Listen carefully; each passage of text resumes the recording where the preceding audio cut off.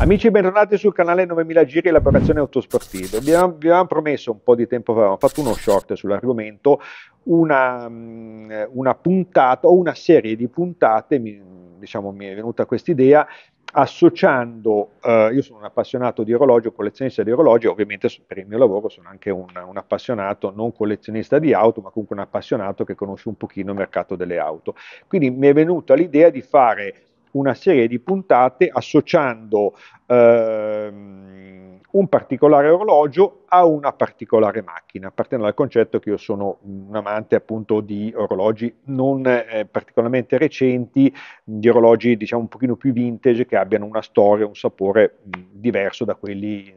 smartwatch o, o, cose del genere che per me sono cose mh, assolutamente fuori dai miei, dai miei canoni. Quindi mi è piaciuta questa idea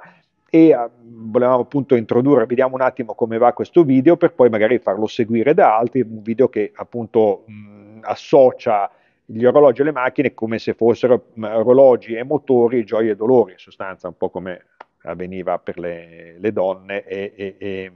e, i motori. Eh, io inizierei appunto, il primo che vi voglio presentare è questo, questo è un orologio particolare, è un, eh, un Rolex Daytona, quindi un cronografo. Eh, la particolarità di questo orologio è un, un, un 16523 del 1989. La particolarità di questo orologio che è stato il primo mh, cronografo Rolex successivamente ai cronografi mh, prima del, del, 1988 che erano a carica manuale, quindi questo è il primo a carica automatica e la particolarità che eh, Rolex ha eh, introdotto questo,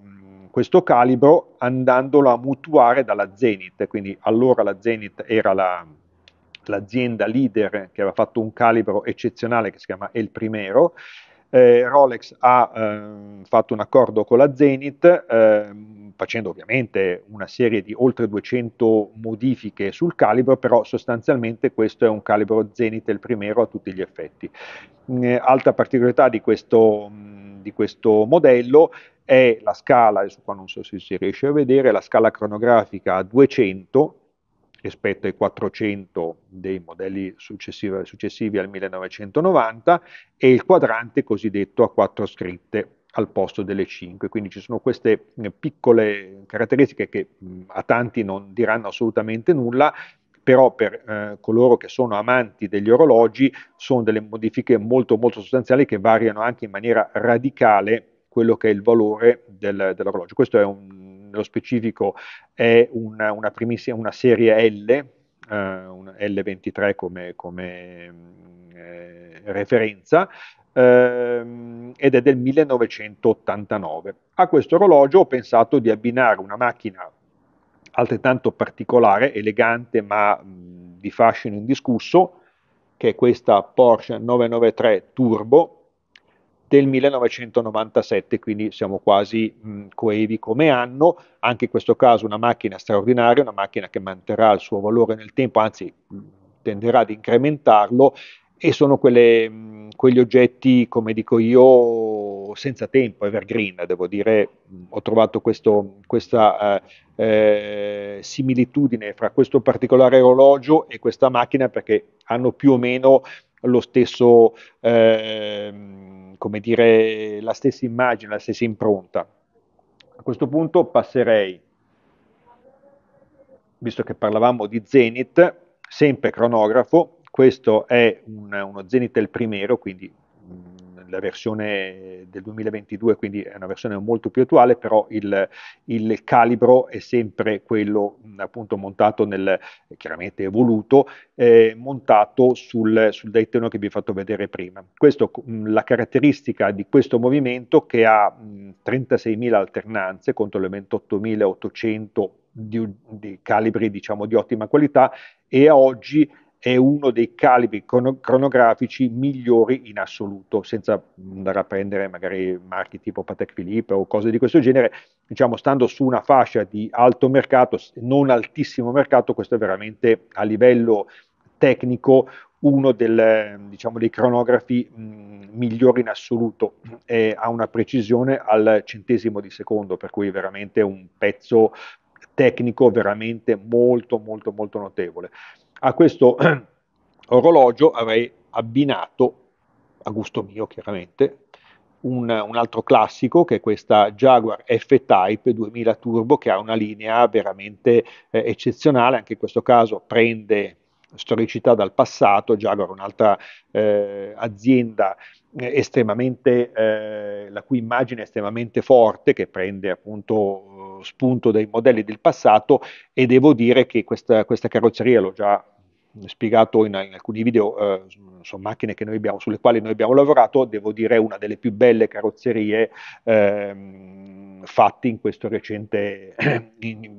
adesso nel, nel, recente passato. Quindi trovo questa similitudine fra un, un, un orologio eccezionale come appunto lo Zenith del Primero con una, una Jaguar F-Type si coniugano perfettamente. A questo punto passerei a un altro orologio molto eh, bello, dal mio punto di vista estremamente bello, sempre un cronografo, in questo caso è un IVC, il, il, il modello è il portoghese, eh, con calibro di manifattura, quindi un calibro fatto direttamente dalle IVC rispetto ai calibri precedenti che erano mutuati da eh, erano calibri Vajou o ETA, questo è un calibro fatto direttamente dalle IVC, la IVC è un'azienda tedesca che ha una storia notevole, questo un, secondo me ha un'eleganza veramente fuori eh, da, ogni, da, ogni, schema, è veramente un orologio dal mio punto di vista elegantissimo. Eh, a questo tipo di, di orologio han, ho pensato di abbinare, anche in questo caso partendo dal concetto, come dicevo prima, sempre oggetti che vanno a, ri- a riprendere una storia nel passato, questa 124 Spider che trovo sia eh, una macchina estremamente interessante. L'unico peccato che la Fiat ha fatto questa, eh, questa joint venture con eh, Mazda eh, a tiratura limitata. È una macchina che secondo me è una delle più belle Fiat fatte nel recente passato. È un peccato che non sia stata come dire, la produzione sia stata sospesa e tutti coloro che hanno questa macchina secondo me hanno fatto un, un fanno bene a tenersela e sono mm, diciamo, macchine che sono destinate a eh, crescere di valore nel tempo, quindi assolutamente eh, un'ottima, dire, un'ottima, scelta e quei pochi fortunati che eh, la possiedono, almeno quelli che abbiamo visto, che, eh, diciamo, sulle quali abbiamo la- lavorato, sono tutte macchine tenute benissimo, tutte macchine i cui proprietari è gente eh, generalmente appassionata, non sono macchine da battaglia, quindi assolutamente un'ottima, eh, un'ottima scelta. Eh, io direi, concluderei diciamo, il, la puntata di oggi presentandovi l'ultimo orologio, anche in questo caso un orologio veramente storico, iconico, questo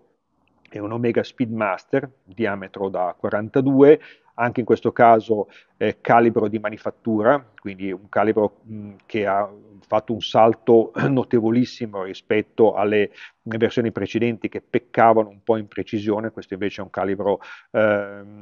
certificato COSC, per cui lo scarto giornaliero è al di sotto dei 5 secondi giornalieri, generalmente dai 3-4 secondi giornalieri, quindi mh, è una certificazione che denota una perfezione di meccanismo veramente eccezionale. Dicevo la storicità di questo orologio perché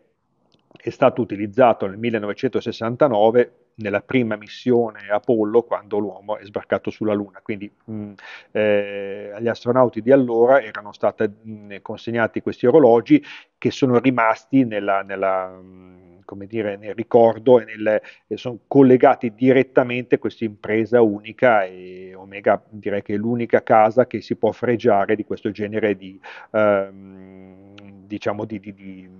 caratteristica peculiare. Eh, orologio estremamente preciso, eh, iconico direi perché veramente ha una storia che nessun altro orologio può vantare perché ovviamente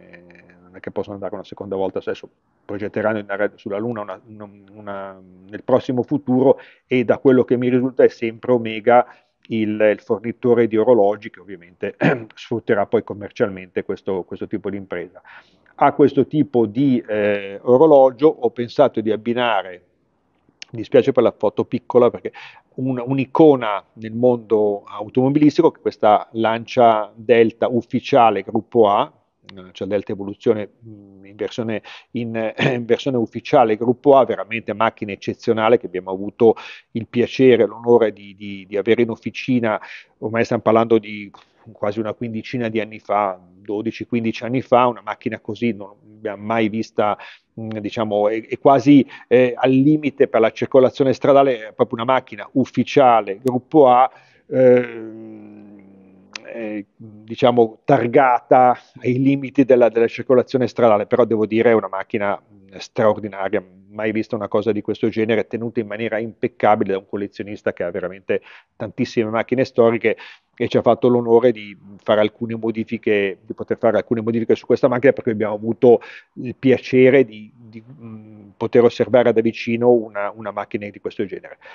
Io direi che per oggi è tutto, mm, mi piacerebbe sentire i vostri commenti, se eh, diciamo, questo tipo di rubrica vi dovesse interessare possiamo farne altre, facendo sempre appunto degli abbinamenti particolari, trovando un'assonanza particolare tra quello che sono appunto gli orologi, sempre ripeto un po' eh, fuori dalle righe, con altrettante macchine che, mh, mm, con le quali si può trovare una similitudine. Vi direi per il momento è tutto, aspetto i vostri commenti, un saluto, alla prossima!